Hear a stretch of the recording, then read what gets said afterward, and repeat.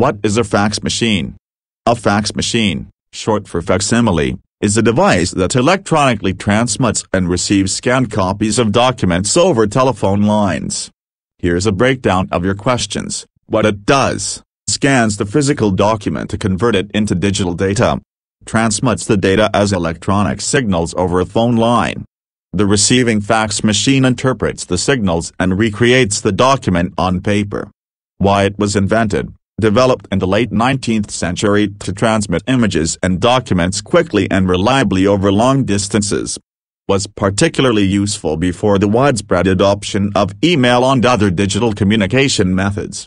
Who invented the fax machine?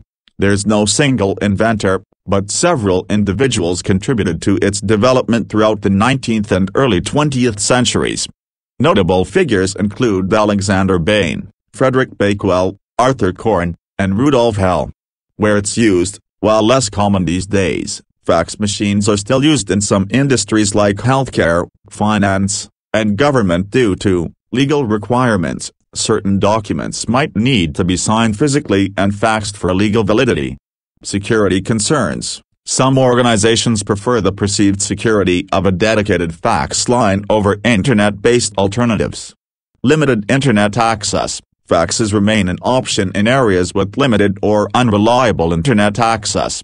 Why we still use them, despite the rise of email and other digital communication methods, fax machines hold on for several reasons. Legacy systems, some organizations rely on older software and systems that integrate seamlessly with fax machines.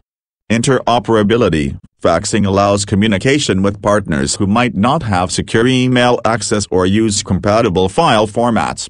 Security, while debated, some perceive fax lines as more secure than internet-based options for sensitive documents. However, it's important to note that fax usage is steadily declining as more secure and efficient digital alternatives become available. The fax machine is one of the oldest technologies that is still relatively common in use today, especially in poorer nations and places where fax is preferable to internet-based alternatives for transmitting and receiving documents and various files.